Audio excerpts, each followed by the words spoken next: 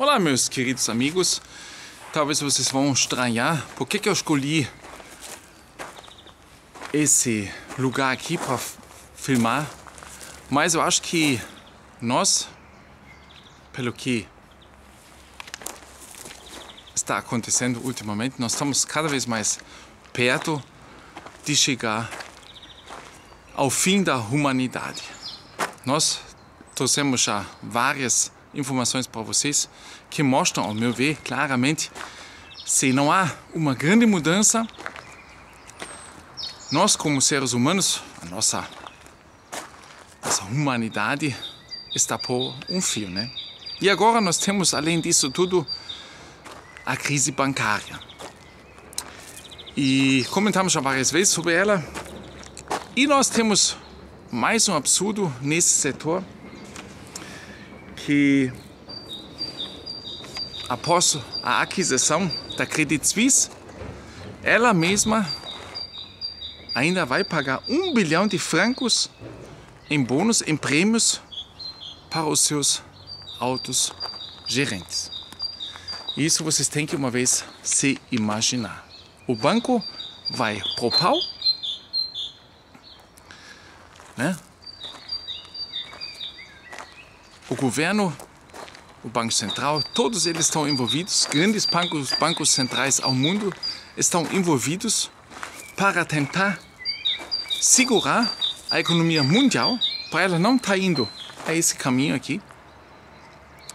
Enquanto isso, os grandes gerentes ainda recebem um prêmio. Em dificuldades, Swiss, Credit Suisse é assumida por seu rival, o BS. O acordo evita um colapso bancário devastador com consequências globais. Então, para vocês entenderem, o banco UBS é o maior banco suíço. E ele assumiu o segundo maior banco suíço, que foi a Credit Suisse, por um valor de 3,3 bilhões de euros. No final de semana passada, de drama terminou com a UBS concordado, concordando em assumir o Credit Suisse por 3 bilhões de francos. 3,3 bilhões de dólares, mais ou menos, aparentemente. O Banco Nacional Suíço facilitará a transação fornecendo liquidez de até 200 bilhões de francos ao Banco UBS e ao Credit Suisse. Durante a aquisição, o Estado concordou em cobrir até 5 bilhões de francos das perdas potenciais do banco UBS.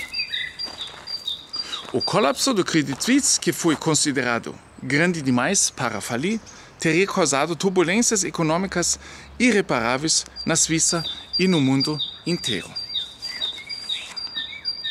Para vocês entenderem a importância desse banco, Credit Suisse era um dos 30 maiores bancos do mundo e, portanto, sistematicamente importante. Vocês estão entendendo, gente? A importância desse banco e a urgência dessa atitude do governo suíço de passar adiante esse banco ao maior banco suíço. Nós estávamos e também estamos por um fio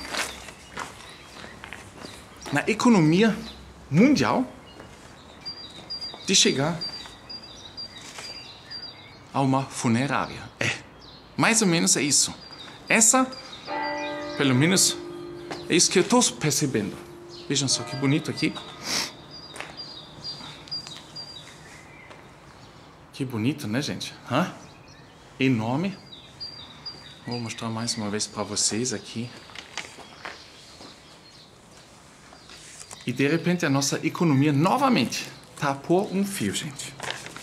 Então, realmente, os bombeiros do mundo todo se, se uniram num domingo e fizeram com que o maior banco poderia ou pode assumir o segundo maior banco. Na verdade, isso não funciona simplesmente assim, porque existe um monopólio que de repente eh, não tem mais concorrente, etc. Né? Tudo isso que vocês também já conhecem. Mas o que o governo suíço fez? Ele já vou passar para vocês.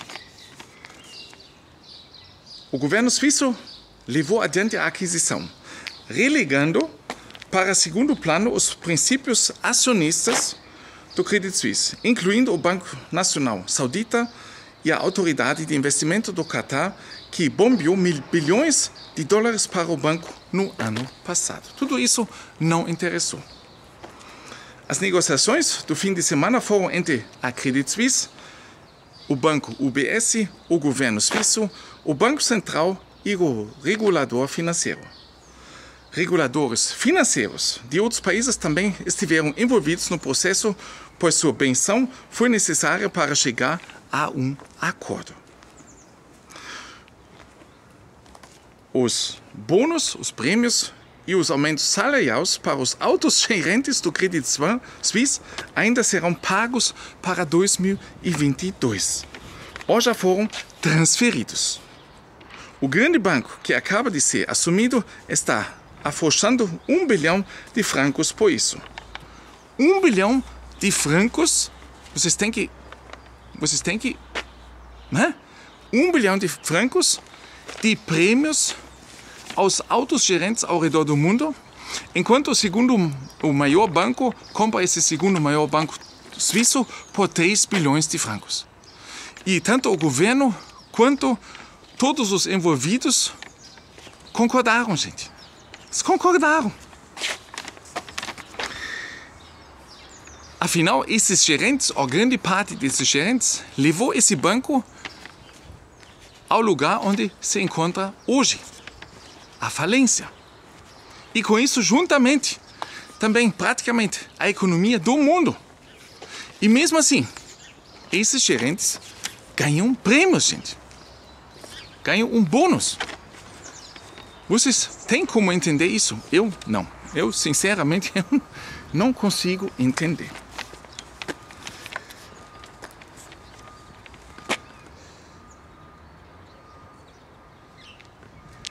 Dois mil e vinte e dois foi um ano catastrófico para o Credit Suisse e finalmente levou à aquisição do grande banco pelo UBS.